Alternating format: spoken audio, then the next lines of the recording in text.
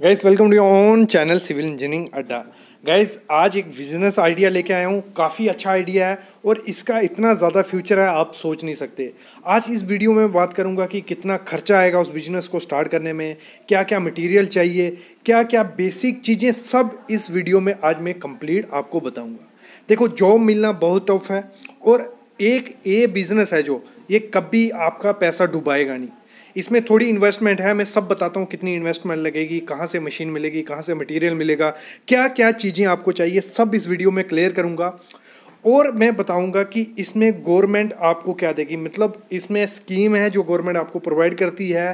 पहले, सबसे पहले देखो, आपको किस चीज़ पे विश्वास है? अभी जो हमारी गवर्नमेंट है बीजेपी पे सबको विश्वास है।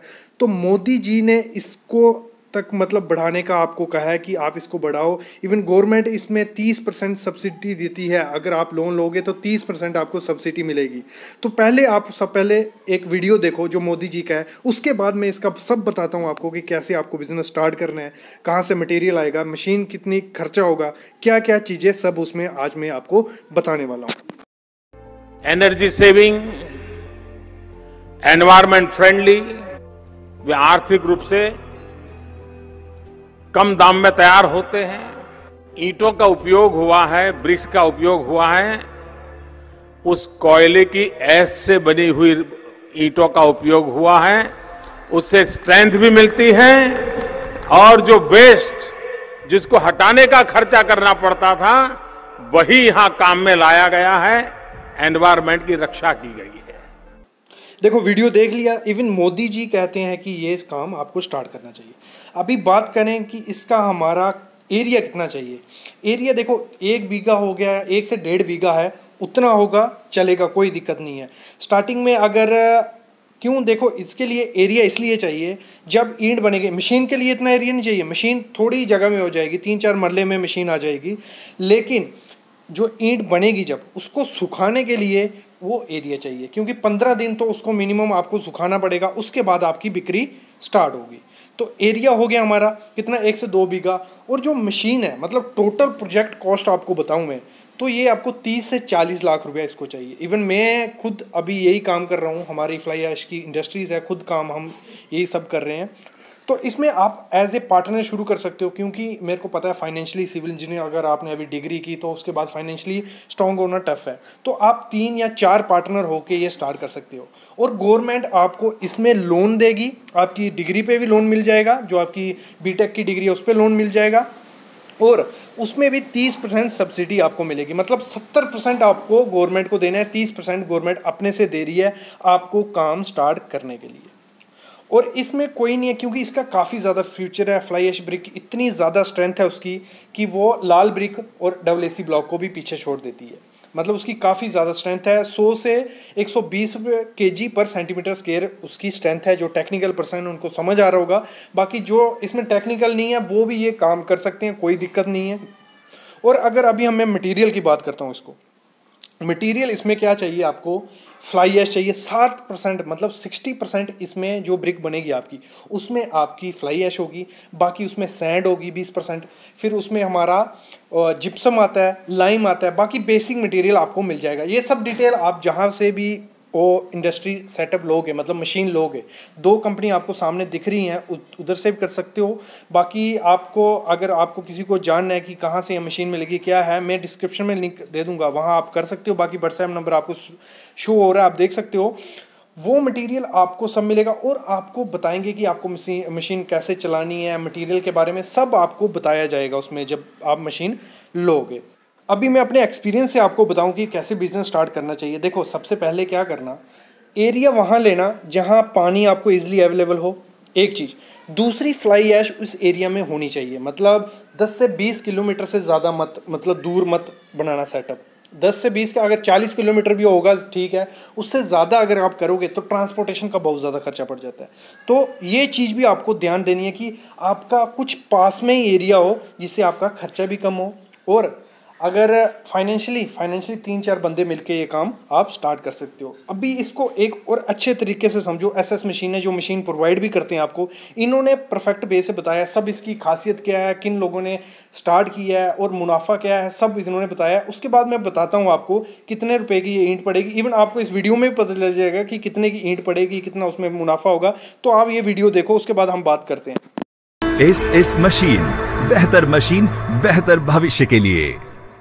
क्या आप बेरोजगारी से परेशान हैं? आप रेगुलर इनकम के लिए किसी अच्छे बिज़नेस की तलाश में हैं? तो फ़िक्र किस बात की एस एस मशीन लाए हैं आपके लिए फ्लाई एश ब्रिक्स प्लांट का बिज़नेस जो कि आपके और आपके परिवार के लिए एक अच्छा बिज़नेस ऑप्शन हो सकता है इस बिज़नेस से न सिर्फ़ आपको शुरुआत में अच्छी इनकम होगी, बल्कि आप इस बिज़नेस से जुड़े लोगों में शुमार हो सकते हैं इसका मुख्य कारण यह है कि मौजूदा समय में फ्लाई एश ब्रिक्स का चलन बढ़ता जा रहा है। इस बिज़नेस की शुरुआत आठ लाख रुपए से इक्कीस लाख रुपए हो सकती है। जहाँ तक इनकम की बात है तो इस बिज़नेस से शुरुआत में एक लाख रुपए महीना से लेकर करोड़ों रुपए प्रति वर्ष हो सकती है।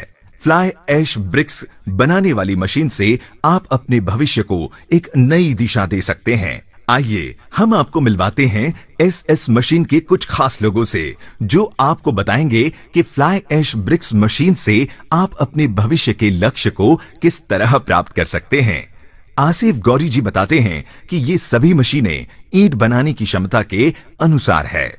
आठ लाख रुपए कीमत वाली मशीन की क्षमता 500 से 1000 ईंट प्रति घंटा तैयार कर सकती है। जबकि 21 लाख रुपए वाली मशीन की क्षमता 2000 से 2500 प्रति घंटा तैयार कर सकती है। इस बिज़नेस को शुरू करने के लिए आपके पास ज़मीन का होना बहुत आवश्यक होता है, ताकि मशीन को लगाने के बाद ईंट का भंडारण भी कर सकें।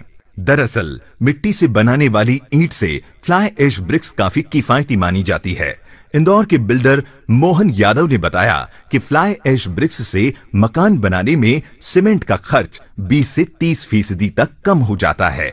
इसके अलावा फिनिशिंग दीवार के दोनों तरफ़ आती है। इससे प्लास्टर में भी सीमेंट की बचत होती है।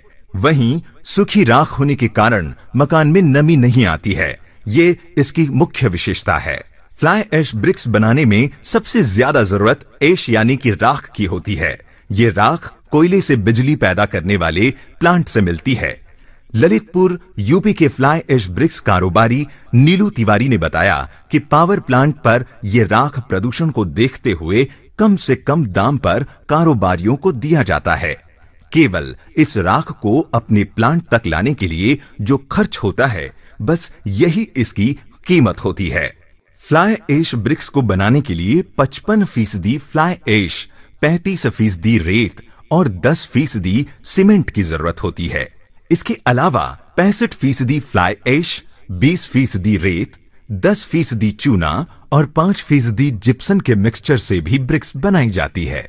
फ्लाई एश ब्रिक्स कारोबारी गोविंद अग्रवाल ने बताया कि फ्लाई एश की ईट बनाने में दो से दो रुपए पच्चीस पैसे खर्च आता है।